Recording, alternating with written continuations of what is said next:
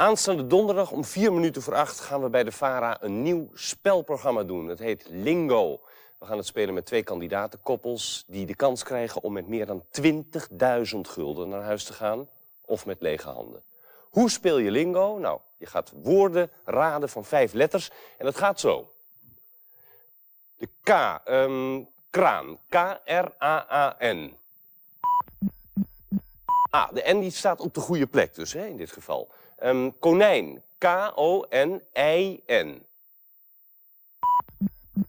Oh, er zit dus wel een ei in het woord, maar die staat op de foute plek, want er zit een rondje omheen. Ehm, kijken, K-I-K-E. Oh, kijken! U moet donderdag kijken, tot donderdag dus, hè, bij Lingo. Afgelopen dinsdag zond de NCRV het eerste deel uit en vanavond brengt de VARA het gedeelte na de pauze. Ik heb het natuurlijk over Lee Towers Gala of the Year. En dat is het concert dat hij gaf op 7 december jongsleden voor een overvolle Ahoy-hal. Lee Towers wordt bijgestaan door het Metropoolorkest en onder andere de Jody Singers.